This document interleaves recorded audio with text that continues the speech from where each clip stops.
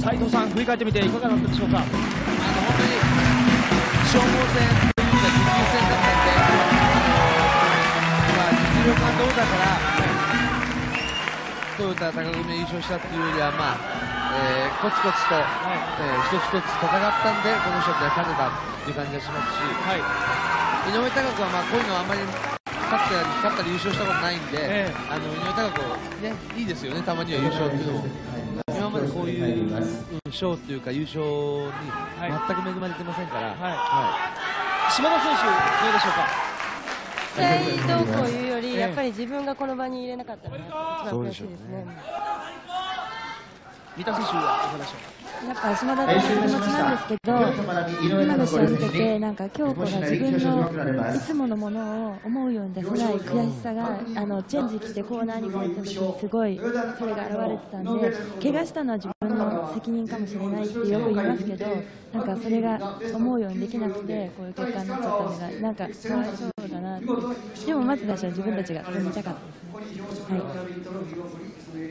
はい。リング上では優勝の賞状と。そしてトロフィーが渡されようとしております。優勝したのはアグリブザベスト94優勝しましたのは豊田真奈美井上貴組です。さあ今トロフィーが渡されました。さあこの表情です。さあ本当に2人ともやり尽くした。もう何も残すものはないといった表情でしょうか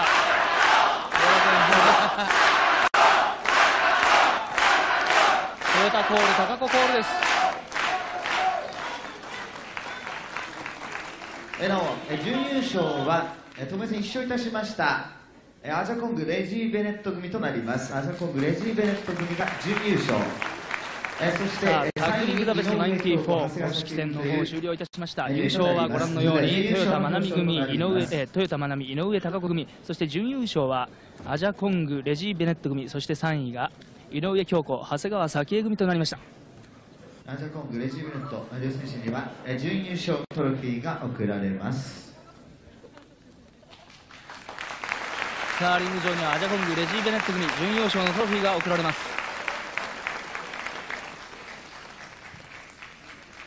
え以上でえ表彰式を終了いたします。え卓球のベストの金庫え優勝はトヨタ真奈美井上貴子え準優勝はアジャコールレジー・ベネット組となりました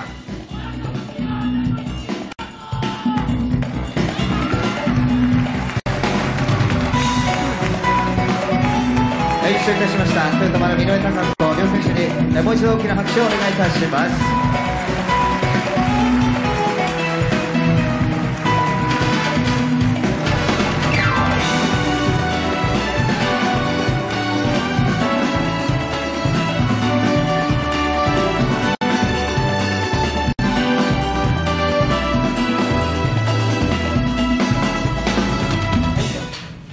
タッグリーグザベスト94、えー優勝を飾りましたトヨタ真奈美選手井上貴子選手組です、えーまずはお二方優勝おめでとうございます、ありがとうございます。ありがとうございます。えー今日の試合振り返ってみていかがでしたでしょうか？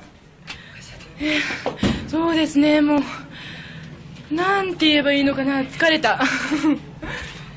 いやーあの自分の弱さを思い知らされたっていうか、いやちょっと、さんに。全然そんなことない。だって、怪我してたのに、ここまで頑張ったってことは、全然よ弱さなんかって、って全然あれですよね。弱さがあれば、ここまで怪我してても我慢でして、一生懸命できないんで、すごい頑張ったと思います。そして優勝戦の方は三つどもえとなったわけですが、えー、3試合やったわけですよね、えー公式戦含めて、えーえーそれのペース配分だとかそういったものを考えてましたか？ペース配分なんか考えるわけないじゃないです。もう、この時負けちゃうと、あれじゃないですけど、だからとにかく全てを、もう最初の試合から全て出していかなきゃ、もうそこで負けちゃったらもう自分たち終わりですよね。だからもうとにかく、もう、ガンガン最初から飛ばしていかないとって思ってたんで、高子選手は腰の方に何かコルセットみたいなものを巻いてましたが、あれはこの間横浜でちょっと怪我してだいぶちょっと長引いてたんであの試合休んだんですけどそれ心配だったんですけど